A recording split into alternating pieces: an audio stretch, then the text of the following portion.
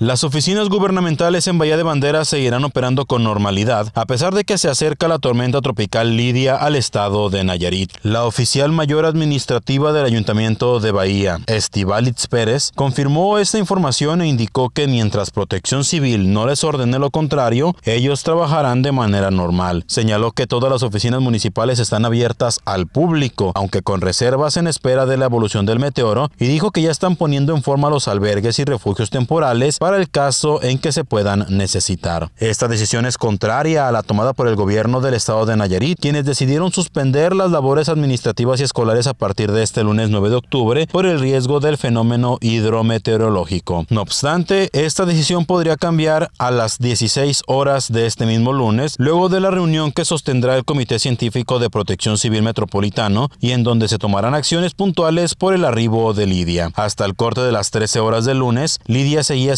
tormenta tropical, aunque se espera que se intensifique a huracán categoría 1 durante la tarde y noche de este mismo lunes.